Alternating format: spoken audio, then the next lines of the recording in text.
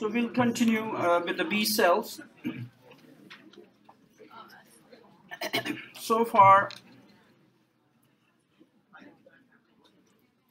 we've been talking about markers that are expressed on the surface.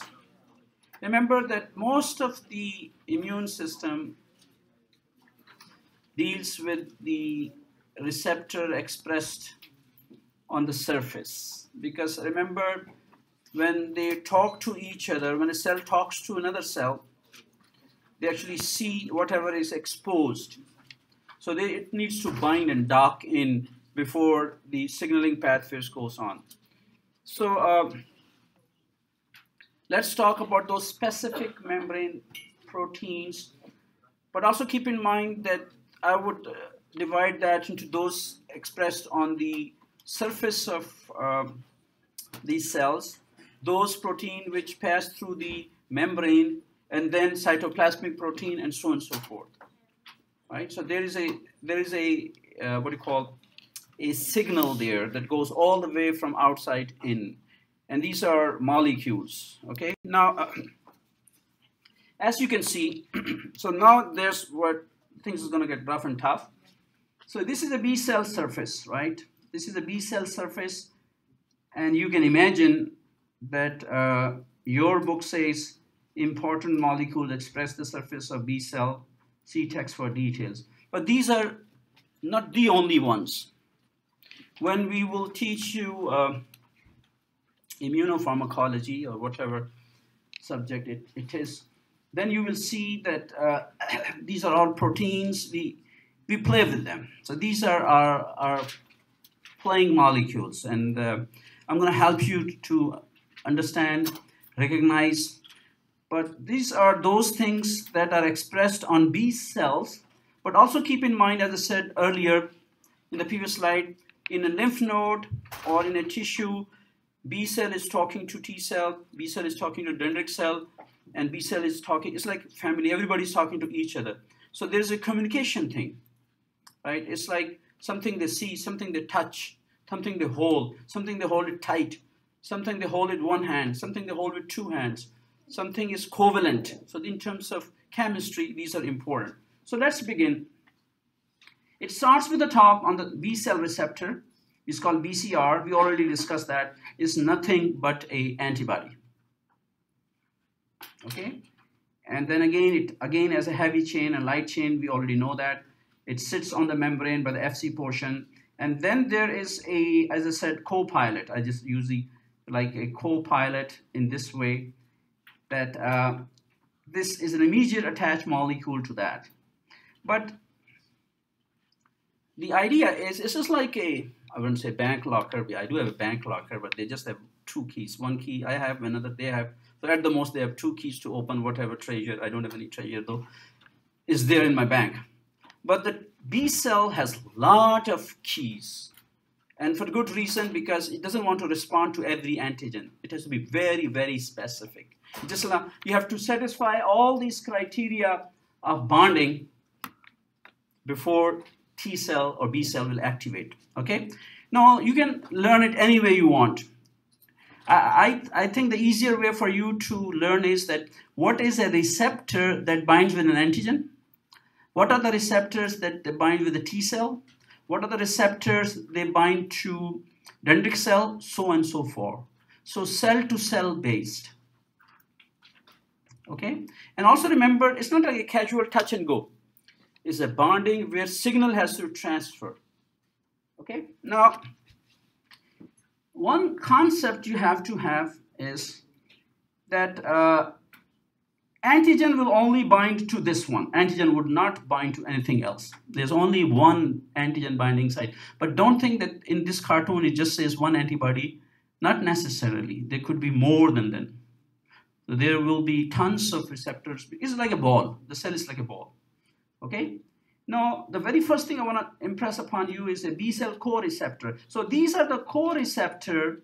It's just like this, this is a pilot so it has one, two, three, four different co-receptor. Okay, and the purpose of this co-receptor is, another slide I'll that to you. They are like uh, the accelerators, the enhancers, right? So these are, it says enhances signal transduction through BCR. So whatever is being transmitted over here, they are like enhancer there. It's like a signal, you know, sometimes you have this routers or Wi-Fi and then you have the boosters for enhancers. So the signal can be enhanced. So that's a known fact in immunology as well. Now, since they have a specific shape and form, and since they are numbered, guess what? We will have some drugs against them. Because sometimes we want to speed them up, and sometimes we want to slow them down. Okay? So 19, 21, 81, and 225, and they all are CDs. Okay? So 19, 21, 81, 225, I will not go in details, but you can tell by the shape of it that uh, most of them have two portion. One is exposed to outside the cell, extracellular, and they have an intercellular, and then they, they have uh, intramembranous because the cell membrane as well. Okay, so it passes through, and some of them may not have, like for example, this one may not have a an exposed thing. So something that is exposed, we call it domain, which is a domain. So a domain jutting out of the membrane, a domain within the membrane, and domain inside the membrane. So this is like a signaling pathway. Okay. Now it says molecules that interact with T cells, and I just gave a mnemonic, let's say high five.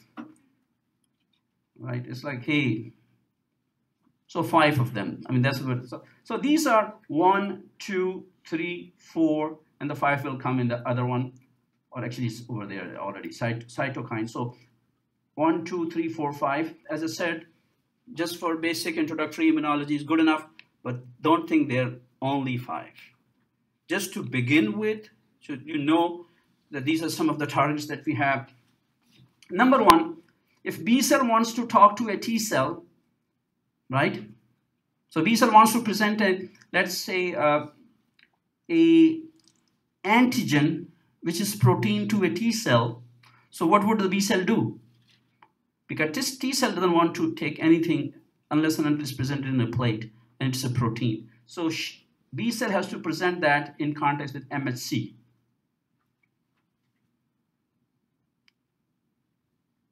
Okay. Now, this is MSC class 2, and I'm going to explain that to you in the coming lecture after immediately after that, MSC.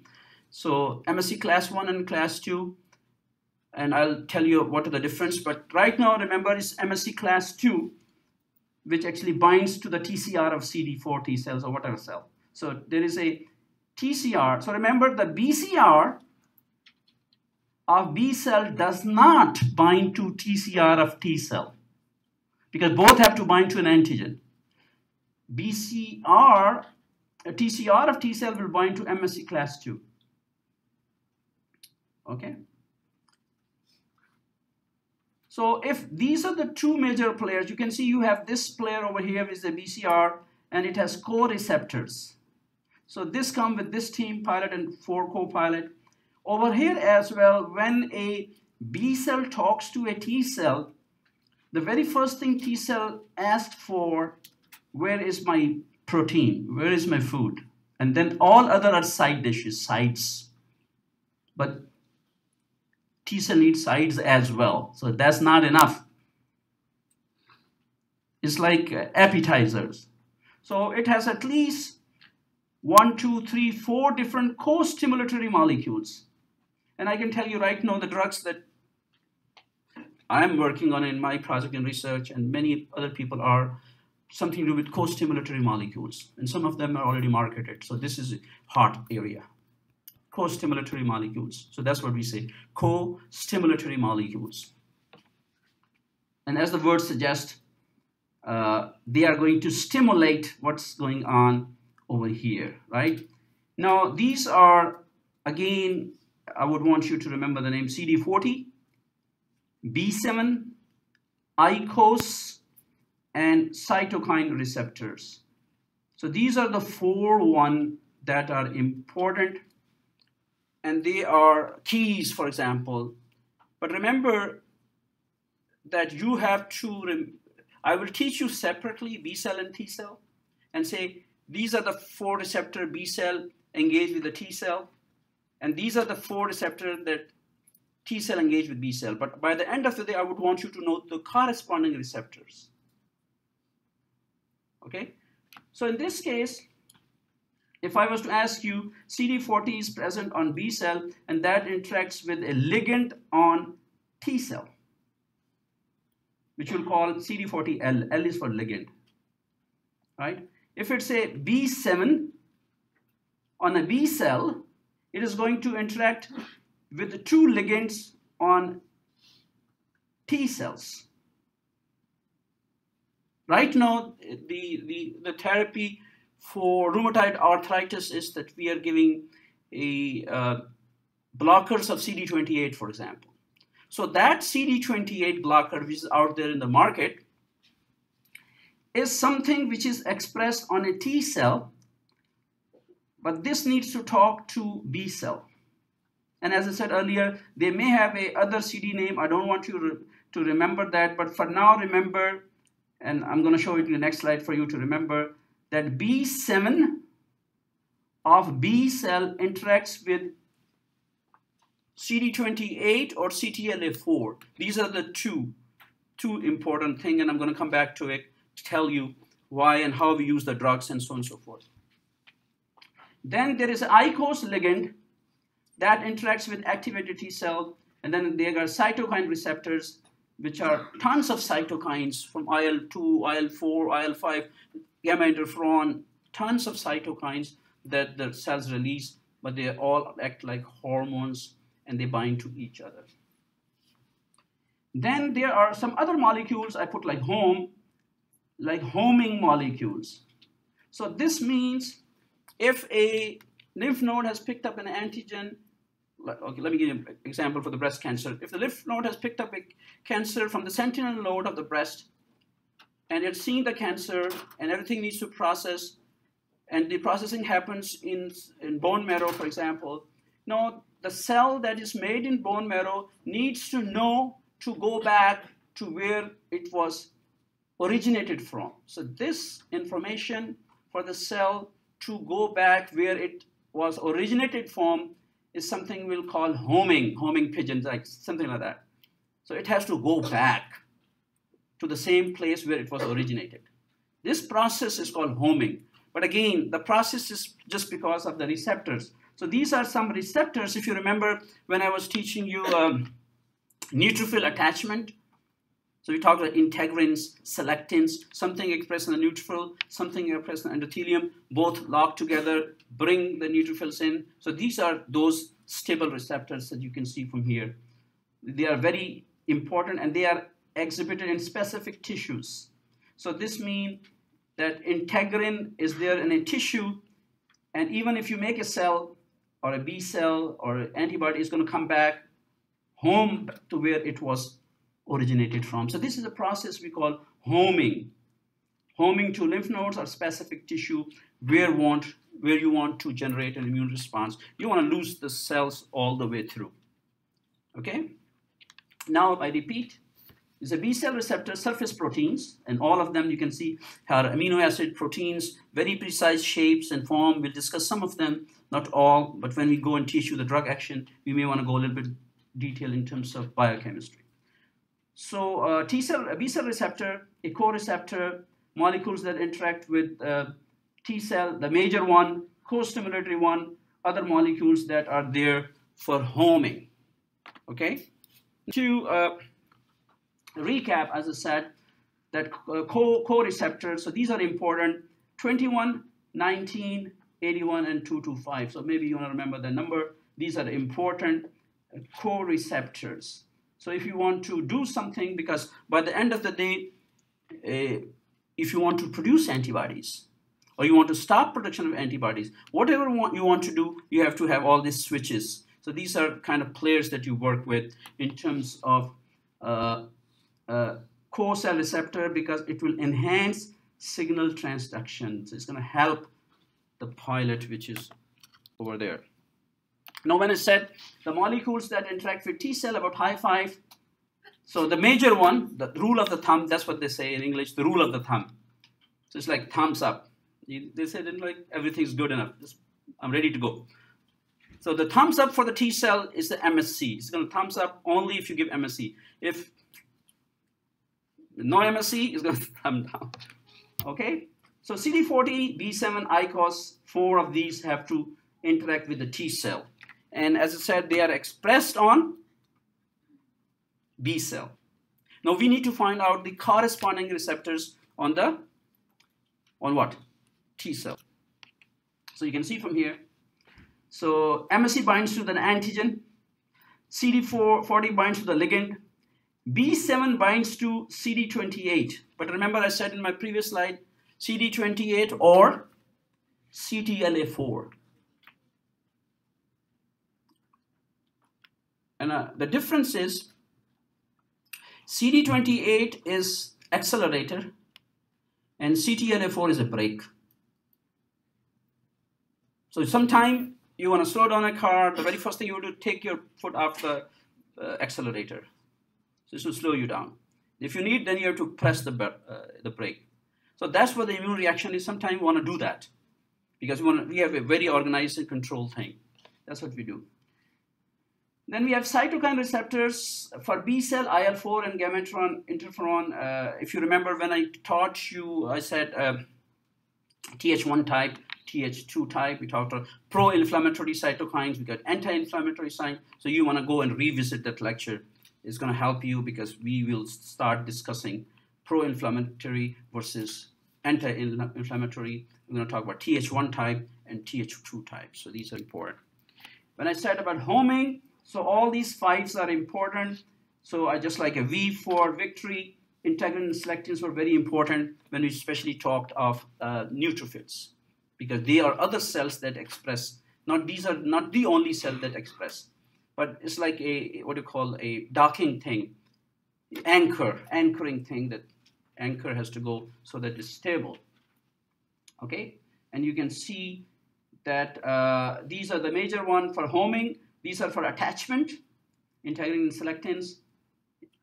You know selectins are expressed on uh, epithelium or endothelium and integrins are expressed on cells like neutrophils. And then integrin selectin, they can also act, chemokines can act homing to bring back where the cells were. Okay, now having said that, let's see what happens in real time. So I'm going to explain that to you, what happens in the real time. So in this case, this is a uh, B cell membrane, right? This is surface, these are the surface markers. This is a BCR, we already know immunoglobulin and all of a sudden we see a bacteria. We see a bacteria or pathogen in this case. Now B cell will come and look at it. So it's going to bind to this one, right? And then the signaling will pass through that. We talked about these signaling, Ig alpha and beta signaling will like ignition. It's going to turn on the system. The car is running, engine is running, but it's not moving. Just like initial ignition in terms of signal. Okay, now what the body does is that it says, hey, it's good enough, but maybe the signal is too weak.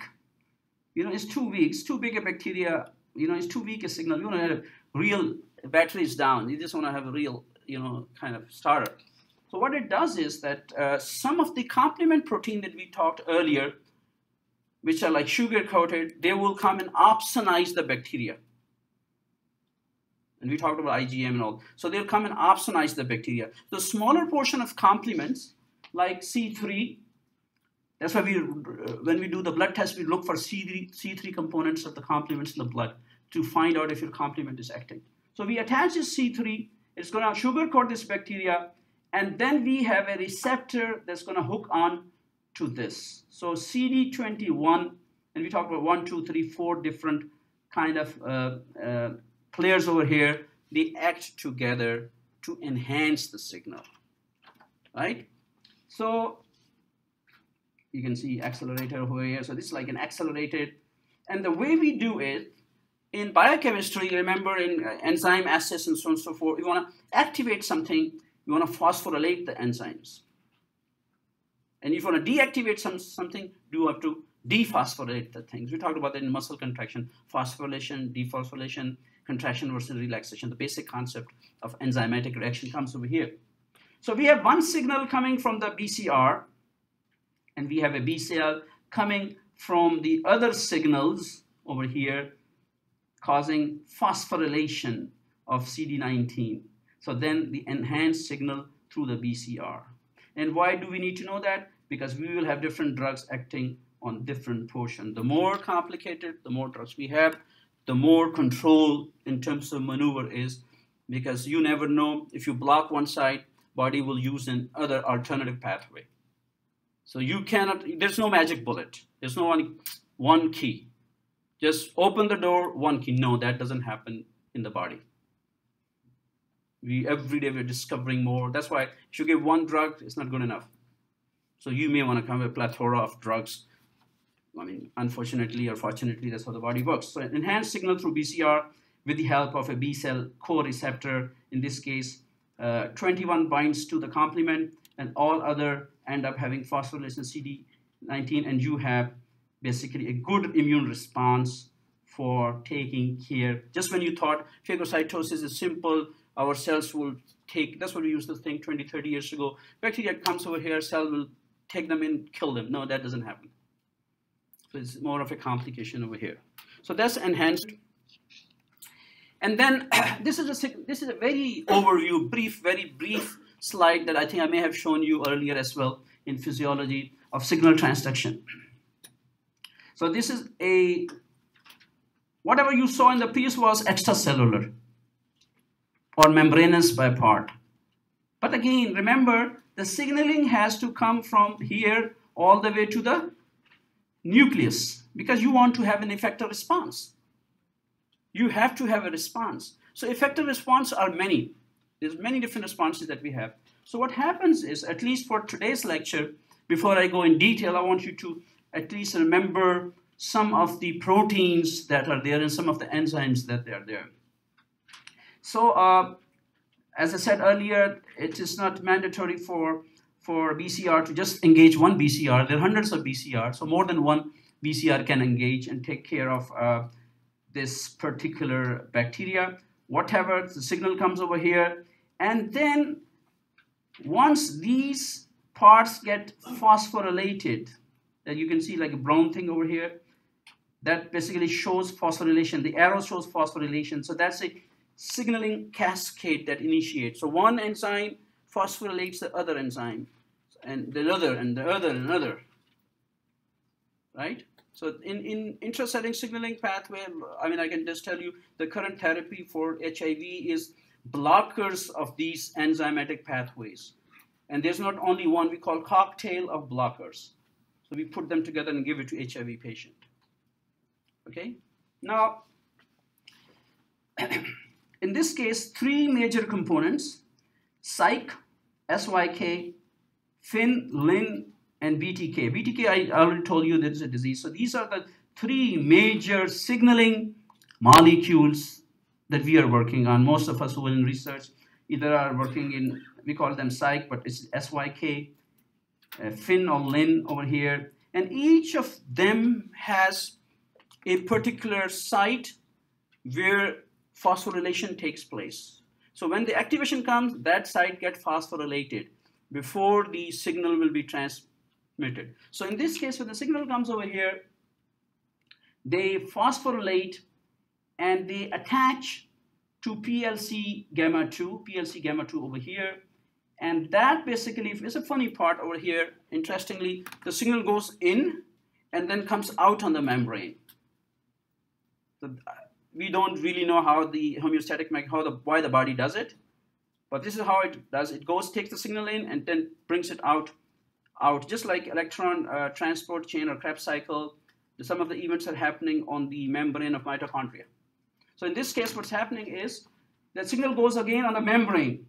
And membrane, then there are PIP2s. So these are PIP2 and diacylglycerol. These are two major players on the membrane. And they initiate many different pathways. So right now what I'm trying to emphasize upon you for the basic is that when you get a signal, you get a co-signal, it goes to phosphorylate three important components which are Syk, finlin, and BTK. They basically lead on to activation of two molecules which are PIP2 and uh, diacylglycerol, which is DAG. So three, two, and then they initiate three pathways, three important pathways. So it's just like go, I mean, I have a mnemonic for that. Those of you, maybe many of you may not know how the engine, uh, the car engine transmission works. But those of you who are interested, they can benefit from that, and I don't want to spend much time on that. But once you crank ignition, what happens afterwards? It's pretty much same kind of analogy for the cell when you get antigen, what happens inside. Things are not that simple. You just plus uh, turn the key on and you know everything start running. But by the end of the day, you don't you don't want to turn on the engine. You want the car to move. Okay, so that movement will be effector response, and there are a lot of players involved in this case. Now, three important uh, pathways. For now, just remember IP3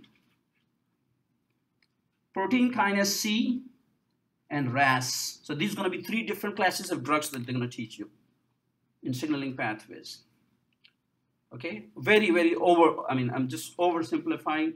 IP3, protein kinase C, and RAS. But what you will see over here is, if I was to ask you which one of the three utilizes calcium, so you can guess from here, IP3 is the one that utilizes calcium, and there's a calcineurin. And if you go back and look at the signal transduction molecule in the heart cardiac muscle, you will see the role of calcium and calcineurin there. I still remember that kind of uh, cartoon I showed it to you, the pump, the calcium pump. So that's where the calcineurin is important. So regardless, this is not that simple pathway. There are hundreds of steps over here, and uh, we will take you through eventually. But what happens is that regardless of these steps, they cause, because by the end of the day, you, got you have to have protein synthesis, right? So they call activation of transcription factors. So they are transcription factors.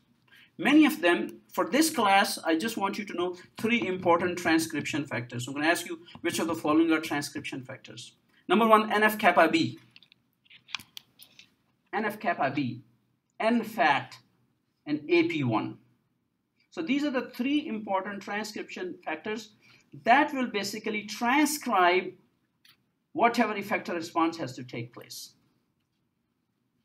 So, so far, I've told you about the outside in signaling path pathway, phosphorylation over here, and then there's a chain of signaling pathway through all these specific enzymatic pathway where there's a phosphorylation taking place leading to membranous event leading to three important pathways, all terminating into activation of transcription factor. And I said three important transcription factors that will initiate what needs to be initiated in terms of transcription, and then we have synthesis of protein. I will not spend much time on that. I'm going to post it to you because I don't want to teach you how the card works. I'll leave it there. But I, we can see from here three important uh, things over here, Syk, finlin, and BTK.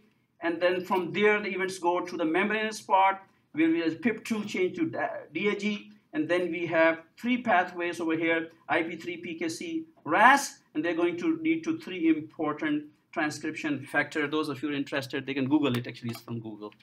Okay. The other important thing is brake. So you want to control, it's like a balance you want to trip the balance. That's, that's the key over here. So the previous slide showed you accelerator. Now I'm going to tell you a brake.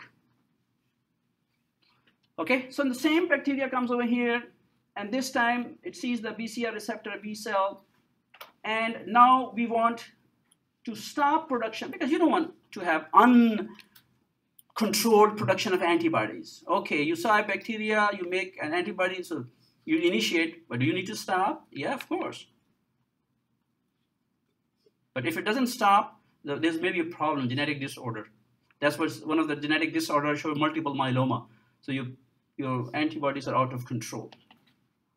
So what happens is, so what we have is, then we have a very specific receptor on the cell membrane called CD32, right? And this CD32 will block when it attaches with an antibody that sees an antigen. So it is going to transmit. So if, if this particular antibody, remember I told you the antibodies sit on the cell membrane, so they see the antigen with the Fab portion, but they sit on the membrane with FC portion when there are FC receptors there. So this is FC receptor. It sits over there. It now initiates another series of enzymes which are not phosphorylated. They are not kinases. And I think I'm pretty sure that you've done that bunch of biochemistry to know differences between kinases and phosphatases. Okay, you, you, we've been taught about protein tyrosine kinases and MAP kinases and so on and so forth. So these are important signaling uh, molecules. Even if you're not, maybe they're going to cover it up in this semester. But one such important thing is phosphatase. So if you have phosphatase, it's going to chew up the phosphate, so there will be no phosphorylation. So if there's no phosphorylation, it is a negative signal over here. So that negative signal will block the antibody production. That makes sense? So we have a proper control there. Stimulation, let it go. Block, stop it. All through following through those particular molecules. Okay? So